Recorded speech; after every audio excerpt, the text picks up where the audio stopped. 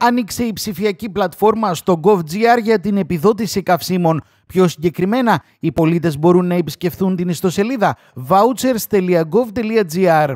Δικαιούχοι είναι κάθε φυσικό πρόσωπο συμπεριλαμβανομένων και ελεύθερων επαγγελματιών που είναι φορολογικοί κάτοικοι Ελλάδος με δηλωθέν οικογενειακό εισόδημα φορολογικού έτους 2020 έως 30.000 ευρώ με σκοπό την συμβολή στην κάλυψη του κόστους κατανάλωσης καυσίμων κίνησης των μηνών Απριλίου, Μαΐου, Ιουνίου του 2022. Και το ποσό αυτό το συγκεκριμένο θεωρώ ότι είναι πάρα πολύ λίγο. Έπρεπε να γίνουν κάποιες ε, γενναίες αλλαγές και αυτό που συζητάμε και πάρα πολύ και εμείς οι καταναλωτές, ε, να υπάρξει μια γενναία μείωση των ειδικών φόρων κατανάλωσης. Ε, αυτό που ξέρουν οι καταναλωτές είναι ότι το 50% ε, του κόστους του οποίου αγοράζουν και ίσως και παραπάνω είναι φόροι, ειδικοί φόροι κατανάλωσης mm-hmm. και ΦΠΑ. Δηλαδή στην ουσία οι καταναλωτές αγοράζουν πρώτα φόρους και μετά το προϊόν. Ε, έπρεπε να υπάρξει μια μεγαλύτερη ανακούφιση, μια ε, να υπάρξει, να τολμήσουν κάτι και έστω για ένα δίμηνο, ένα τρίμηνο μέχρι ίσως ξεπεράσουμε αυτή την ενεργειακή κρίση και υπάρχει μια αποσυμφόρηση των τιμών να υπήρξαν ε, μείωση του ειδικού φόρου κατανάλωσης. Ε, Παρ' όλα αυτά δεν ε, εισακουστήκαμε, δεν ακούγεται κάτι για αυτό το πράγμα ε, και πήγαμε σε ένα μοντέλο πάλι επιδομάτων τα οποία όπως είπατε και εσείς ε, προηγουμένως στο ρεπορτάζ είναι αυτά που ακούστηκαν. Οι δικαιούχοι του προγράμματος υποβάλλουν την αίτησή τους ηλεκτρονικά στον σύνδεσμο που μπορεί να βρει κάποιος στην ιστοσελίδα με την χρήση των κωδικών διαπιστευτηρίων της Γενικής Γραμματείας Πληροφοριακών Συστημάτων Δημόσιας Διοίκησης, TaxisNet.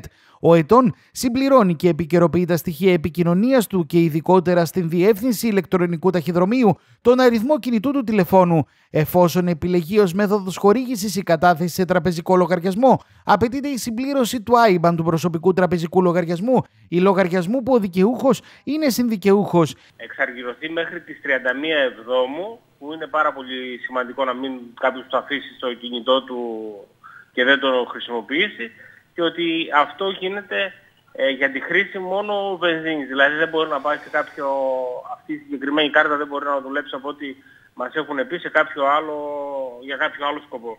Οι αιτήσεις των φυσικών προσώπων στην ειδική εφαρμογή γίνεται τμηματικά ανάλογα με το λίγοντα αριθμό του αριθμού φορολογικού τους Μητρώου. Τα νησιά, ναι. γιατί το έχουν καταλάβει και οι ίδιοι τους και οι ίδιοι οι κυβερνώντες, εδώ και πάρα πολλά χρόνια έχουν, έχει κοπεί ε, ένα, ε, δινόταν μια ανακούφιση όσον αφορά το μεταφορικό έργο.